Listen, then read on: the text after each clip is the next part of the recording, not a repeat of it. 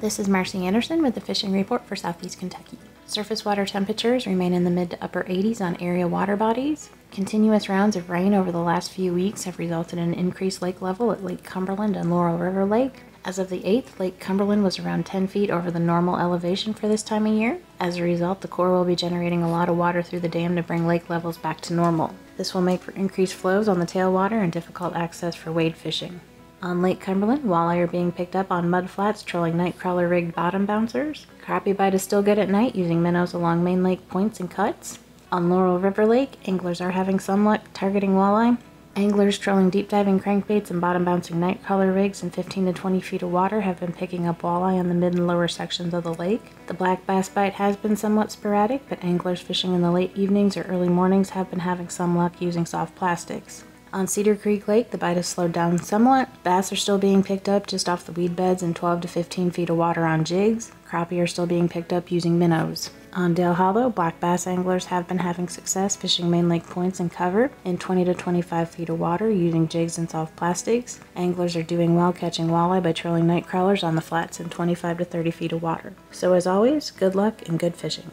This is Tom with your fishing report from the Northeast. Cave Run Lake is still sitting above summer pool levels, which is having an impact on which boat ramps and fishing areas are accessible. Please contact the U.S. Forest Service for the most up to date closure lists. In spite of this higher water, the summer muskie bite is in full swing. I'd be looking at inflow areas of the lake, fishing medium sized shad or sucker imitating baits, and I wouldn't be afraid to move if I wasn't raising any fish. Both crappie and bass have slowed down quite a bit. I'd be looking at dusk to overnight bite for the bass and fishing slower moving baits For the crappie, I'd be looking at the main lake brush piles still, but also considering nighttime fishing under the lights. Similar story up on Grayson with the bass and crappie. Fish at night for both, and don't forget to fish under the lights for the crappie. In addition to these species up at Grayson, don't forget the hybrid bite this time of the year. Warmer water temperatures and lower oxygen levels pins these fish down a bit to the lower portions of the lake, and they're usually sitting right on top of that thermocline in as cold water as they can find. Anything that imitates a shad is prime bait for these fish. This is a good quality fishery with some nice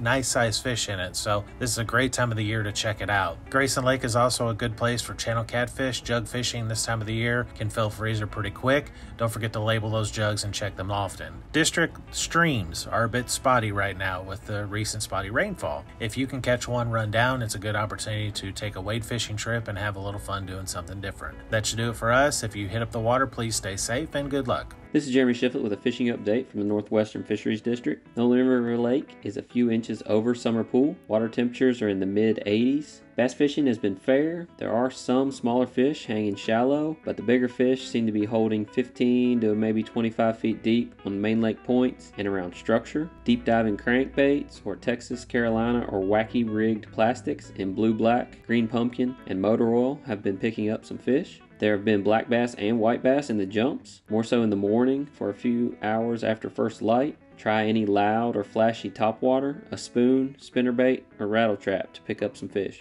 Crappie fishing is also fair to good. Fish are on structure 15 to 20 feet deep per usual. They are still a little finicky, so consider fishing slower and scaling down your lure size to entice a few more bites. There have also been several channels and flatheads uh, being caught on cut bait in the lake. I haven't heard much out of Rough River Lake lately. Uh, the lake is about a foot over summer pool and falling slowly. But this is a great time to catch catfish in the tailwater, and you can also pick up some hybrids and crappie down there as well. In the lake, hybrids are still in the jumps early and late. You typically find more on the lower end of the lake, say from Axtell down and from Panther Creek down to the State Park Marina. There are also quite a few hybrids that hang out between Peter Cave and Atkins Camp on the upper end of the South Fork from July through October when the water starts dropping. Try using live shad caught in rough, night crawlers, chicken livers, swim baits, or rattle traps to entice some bites if the fish are nearby. Bass fishing has been fair in the state lakes, with early morning and late evening being most productive. Target woody structure 3 to 6 feet deep at our smaller state lakes like Carpenter Lake and the Kingfishers, and also Washburn Lake. At Lake Malone, target the deep drop off on the edges of the water willow and woody structure or large rock 8 to 15 feet deep. Soft plastics, Alabama rigs, and square bill cranks have been picking up a few fish. Trout were stocked in Otter Creek on Fort Knox this week. Make sure you get a Fort Knox fishing permit, familiarize yourself with the rules and regs, and head out to the area around the pump house to catch you some summer trout. Good luck and stay safe. This is Caleb Bentley bringing you the Kentucky Stocking Report. This week across Kentucky, we stocked rainbow trout and lake sturgeon. Rainbow trout were stocked in Casey Creek, Trammell Creek, Sulphur Springs, Jennings Creek, Lake Cumberland tailwaters, Roundstone Creek, Otter Creek on Fort Knox, and Herrington Lake tailwaters.